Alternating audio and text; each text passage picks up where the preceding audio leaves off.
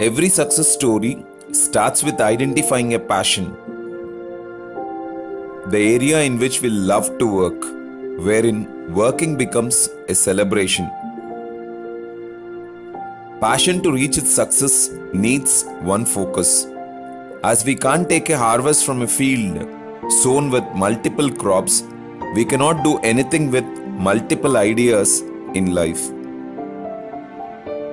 When light rays are brought to a single point, it becomes a laser which can cut even a diamond, the hardest substance on earth. Is there anything that we can do with scattered light? Same is the case of the mind. With one focus alone, it can do miracles. The third thing, along with passion, one focus is consistent practice. That is, practicing every day. As our mind gives utmost priority for the things that we do every day. And our practice should be for thousands of times. One, one move, thousands of times. Only then our mind gets perfectly trained in it and can give instant reflexes greatly.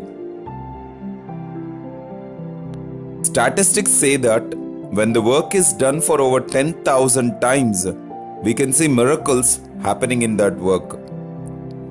The fourth one, along with passion, one focus, and consistent practice, is positive attitude, which should always be a positive one, a constructive one, and the one which always takes us forward, whatever may be the circumstances we are in, whatever may be the number of failures we face, whatever may be the number of setbacks we come across, giving up should never be there.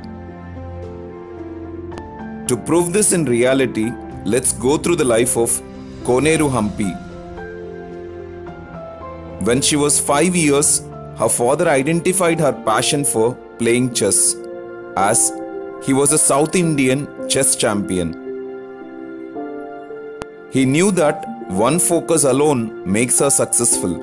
So, her world became a chessboard, and every thought of her was made to relate with chess. And slowly, she started discovering chess in everything.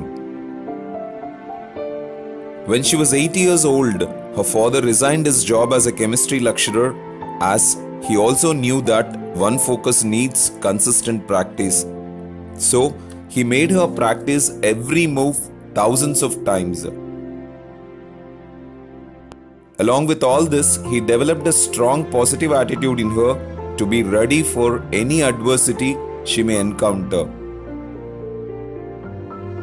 Later, he decided to create history by making her the youngest grandmaster in the world. And when she was 12 years, she became Asia's youngest women international master. And in 15 years, 1 month, 27 days, she became the India's youngest women grandmaster, giving a surprise to the world, putting herself on the top of the globe in chess. Her victories became more and more, making her an inspiration for all. She received prestigious Arjuna and Padma Shri awards along with many other. And she was the second female player in the world with highest ELO rating mark, a measure to check the skill of a performer.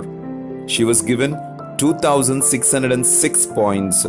She created a sensation by winning North Urals Cup, a round robin tournament in Russia with the nine strongest female players in the world at a time.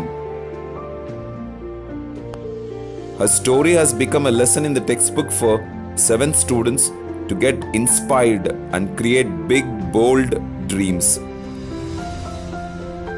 She is a brand ambassador for Swachh Bharat. She even played a tournament with 55 young players at a time to raise funds for Amaravati construction. Along with Vishwanath Anand, she played for many titles. She is right now a ONGC employee, got married.